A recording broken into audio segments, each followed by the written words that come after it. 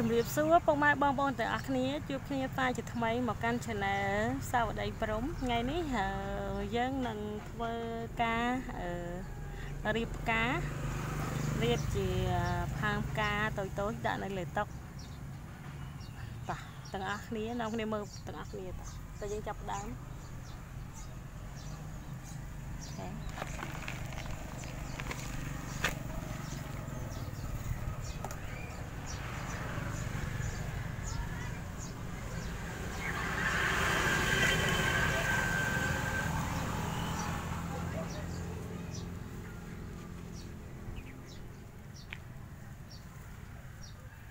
យើងថែមដីទៀតឲ្យវាច្រើនបន្តិច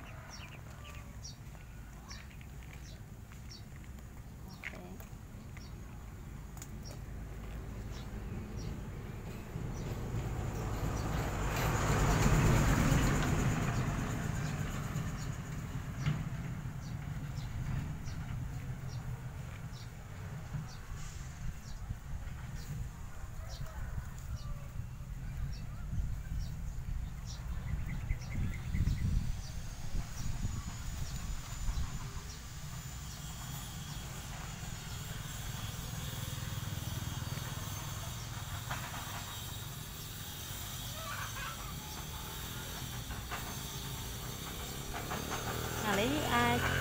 អានេះគេសម្រាប់ដាក់លើតុជា mini garden ទូទូចសម្រាប់ដាក់លើតុទូភ្ញៀវ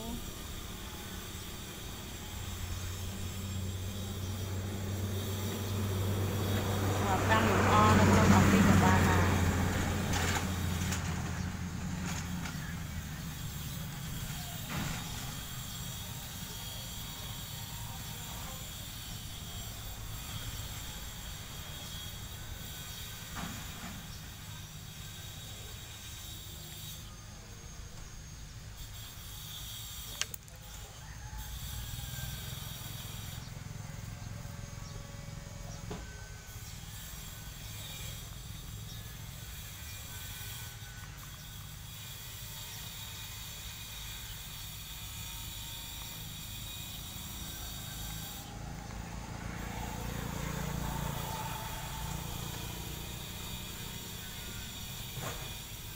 នេះ គឺជាពទាសារកាហើយយើងថែមជាមួយនឹងពទាបាតដៃអានេះមកធូនេះយើងអាចតាមបានច្រើនដើមដែរមកយើងយកកន្លែងបវល់វាតិចមកដាក់ឲ្យយើងស្អាតទីណា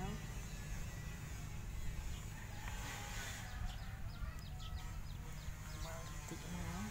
អូខេ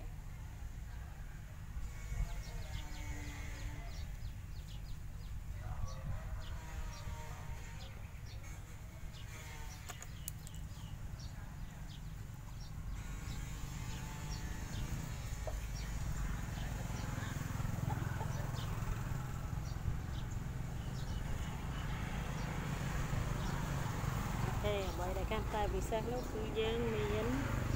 សម្បកខ្យងរបស់យើង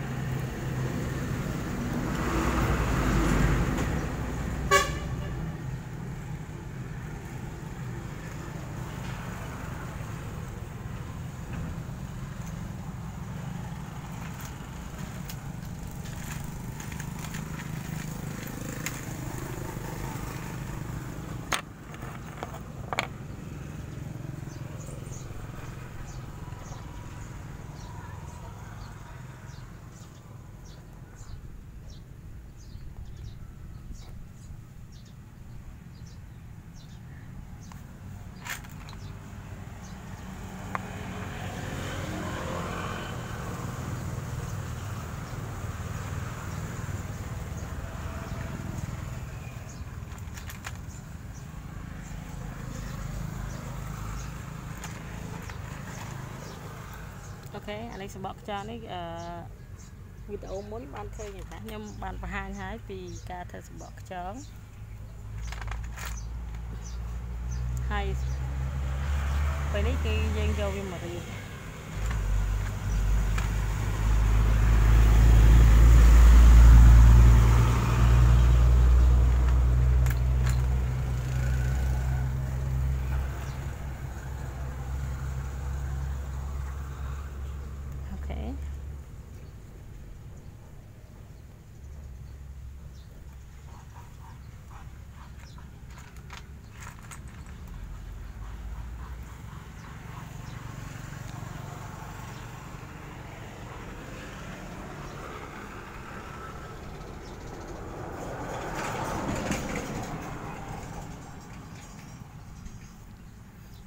យើងនេះយើងអាចដាក់ដាំនៅ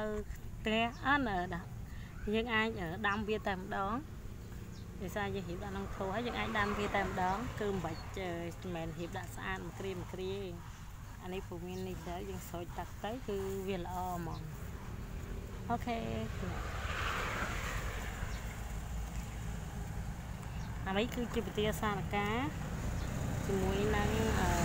ពទា ដើមដំងជាបាតដៃហើយនឹងខ្យងសមុទ្រដែលយើងរើថ្ងៃមុនហើយនឹងដុំថ្មនេះក៏យើងរើនៅសមុទ្រថ្ងៃមុនហ៎ដែលវីដេអូមុនមុនខ្ញុំបានថតឲ្យមើលពីការរើដុំថ្មហើយនឹងការធ្វើសមុទ្រខ្យងនេះហើយឥឡូវយើងចាប់ដើមមកគ្នាបន្តតែងទាំងអស់គ្នាអូខេអឺសម្រាប់ប៉ុណ្ណេះអឺនិយាយទៅប៉ុណ្ណេះយើងអាចដាក់តាំងនៅលើតុបាន ហើយយើងស្រោចទឹកវាទៅអានេះបើសិនជាមានអឺដីខ្សាច់ពណ៌សឬក៏ក្វែតអីយើងអាចដាក់បានទៀតដោយសារតែមើលទៅវារៀងនៅដីច្រើនពេកអញ្ចឹងខ្ញុំថែមកូនក្វែតតិចតិចតិចទៀត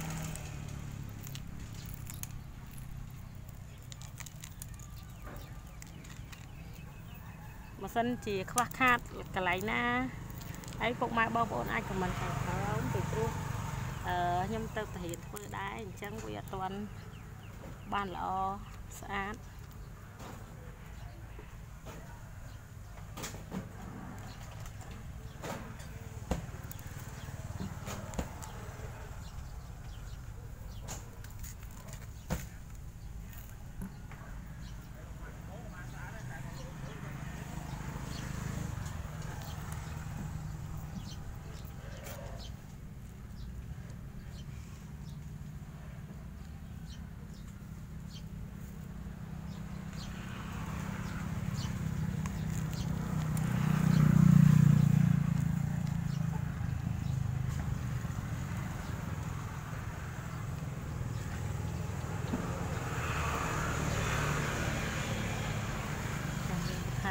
តិចទៅ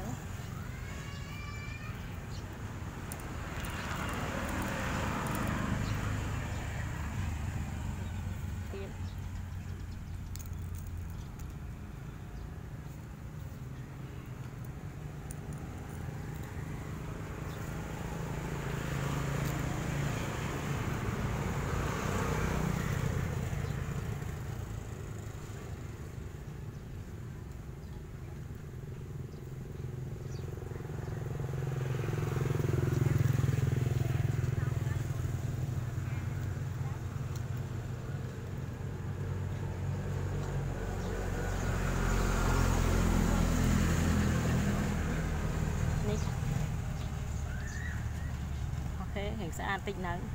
មិញវាខ្វះក៏ប៉ិតអាហ្នឹងបើសិនជាគេមានដីខ្សាច់ពណ៌សគឺគេរៀបទៅកាន់តែស្អាតទៀតដោយសារតែយើងអត់មានដីខ្សាច់ពណ៌សអញ្ចឹងខ្ញុំប្រើក្បែតកិនយកមកជំនួសអូខេនេះអានេះហើយមែនតើបានន័យថាយើងអាចយកទៅដាក់តាំងបានមែនតើនៅក្នុងអស់ពីរបស់យើង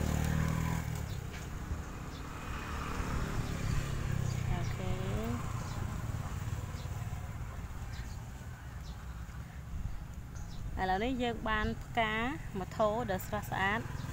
ដែលយើងអឺដេកោហើយយើងអាចដេកោហើយយើងអាចយកវាទុកដាំបាននិយាយទៅចឹងនិយាយថាយើងដេកោវាហើយអញ្ចេះគេប្រើវាប្រើបានរហូតហ្មង